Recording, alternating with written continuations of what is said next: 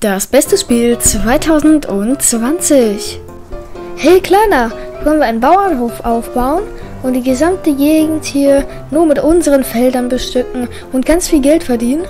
Ach, endlich kauft man sich nur Felder, erntet die ab, verkauft seinen Ertrag und verkauft das Feld wieder. Äh, ernsthaft? Dafür habe ich 25 Euro ausgegeben? Ja, hast du. Die Grafik ist außerdem auch nicht die beste. Aber, naja, immerhin ist das Spiel entspannt, ne? Äh, ja, sehr entspannt. Und was soll ich jetzt machen?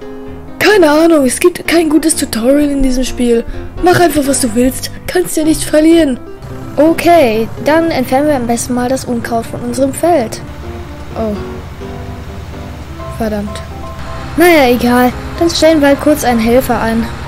Ah, ich liebe dich, du kleines süßes Pferdchen. Was zum Geier hast du gemacht? Was ist hier passiert? Ey, dieses... Ah, nach all dem Stress gehe ich am liebsten mal schlafen. Ah, am besten 10 Stunden. Bis 8 Uhr morgens. Es ist 6 Uhr. Okay, okay. Ich, ich, ich, ich gebe mal zu, es war mein Fehler. Warten Sie. Äh, könnten Sie ein bisschen nach, nach, nach hinten fahren? Ha Hallo? Ein bisschen? Äh, Herr LKW-Fahrer. Hallo? Okay, für das Mais, das ich dabei habe, habe ich vier Spielstunden für gebraucht. Vielleicht kriege ich ja die 80.000 für den neuen Anhänger.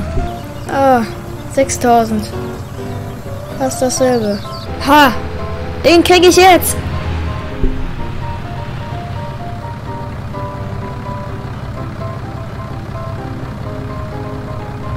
Was war das?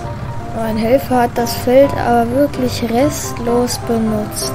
Okay, ich habe jetzt ewig gebraucht, das ganze Feld abgefarmt, um elf Quaderballen zu bekommen. Was kann ich damit nochmal machen? Ach so, ja, äh, wenn du zwei Heuballen, einen Silagenballen und äh, irgendwas anderes mit einer Maschine, die 400.000 Euro kostet, zusammenmix, kriegst du Kuhfutter. Kuhfutter? Dafür habe ich das ganze Feld da hinten abgefahren. Wieso spiele ich dieses Spiel eigentlich?